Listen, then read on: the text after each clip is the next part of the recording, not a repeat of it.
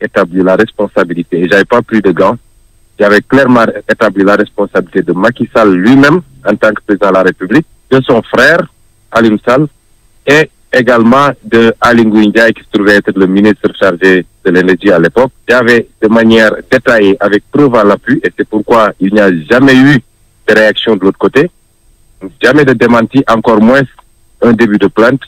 Et cette fois-ci, il s'empresse de parler de plainte. J'avais détaillé le mécanisme qui a été utilisé pour spolier le pétrole et le gaz sénégalais, le mettre entre les mains d'un aventurier tel que Franck Timis, en complicité avec le frère du président, mais avec l'onction du président qui a signé indûment des décrets pour nous donner ces blocs pétroliers, en sachant pertinemment qu'ils ne remplissaient ni les critères techniques, ni les critères financiers. Et ils se sont empressés de remettre tout ça sur le marché international pour se taper des milliards sur le dos du peuple sénégalais. Aujourd'hui, cette affaire va connaître encore des épilogues.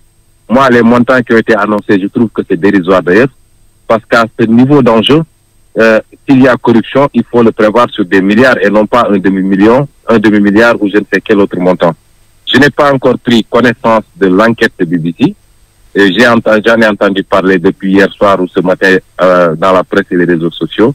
Mais nous avions dit que ce qui s'est passé avec cette affaire extrêmement grave et nous n'accepterons jamais que cela soit euh, enseveli et tout ce qui est en train de se passer avec ces simulacres de dialogue et tout ce que vous voulez, c'est pour effacer des traces par rapport à des délits de ce genre, pour ne pas dire à des crimes financiers de ce genre. Je rappelle qu'à l'époque, nous et un ensemble de Sénégalais, de citoyens, d'acteurs politiques, et nous avions saisi la juridiction américaine à travers le mécanisme du FCA. Nous avons saisi également la juridiction euh, britannique dans le cadre du Bravery Act. Et jusqu'à ce jour, nous suivons avec la coordination de M. Alun Gay qui vit aux États-Unis à Ohio. Et j'en profite d'ailleurs pour lui présenter mes condoléances puisqu'il a perdu sa mère euh, il y a trois jours. Et nous suivons encore ce dossier et notre conviction, c'est que tôt ou tard, que ce soit dans le cadre des juridictions internationales ou, les, ou, alors les juridictions nationales, quand elles seront libérées, parce qu'elles sont aujourd'hui sous la coupe réglée de qui vous savez, tôt ou tard, la lumière sera faite et les responsabilités totalement établies et que les gens rendent compte de ce qu'ils ont fait euh, sur les, les biens qui appartiennent à 14 millions de Sénégalais, mais qui ont servi à enrichir un groupuscule de personnes et de manière indue. Alors, euh, Ousmane Sonko, est-ce que vous ne pensez pas que justement euh, BP, doit clarifier sa responsabilité dans cette situation? Mais évidemment, et nous allons l'exiger d'ailleurs, parce que vous savez, euh, euh, la justice américaine est beaucoup plus sévère sur ces questions-là. Je vous ai parlé tantôt du FCPA, qui est une loi transnationale sur les questions de criminalité économique et financière et qui est très, très, très ferme, très rigoureuse, qui à chaque fois qu'une société américaine est, est, est, compromise ou citée dans des affaires comme ça, ou même quand ce n'est pas des sociétés américaines, mais il suffit que la devise qui a été utilisée pour libérer les contrats soit le dollar, pour que la justice américaine soit compétente.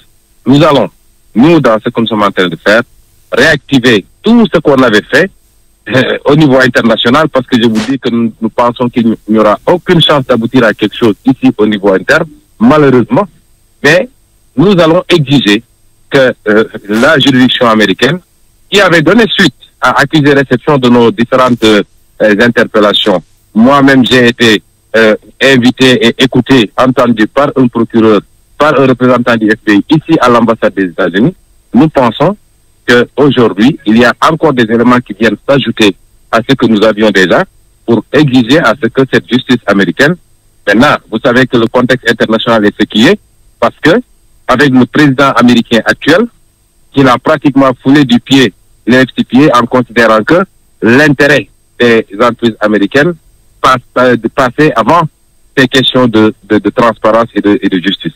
Mais nous, nous savons que les États-Unis, c'est un pays où le droit signifie quelque chose, où la justice est relativement, pour ne pas dire carrément indépendante, et nous allons aujourd'hui réactiver tout ça pour que toutes les entreprises citées, il ne s'agit pas seulement de BP, dans, cette, dans ce bloc, il y a eu BP, il y a eu Cosmos.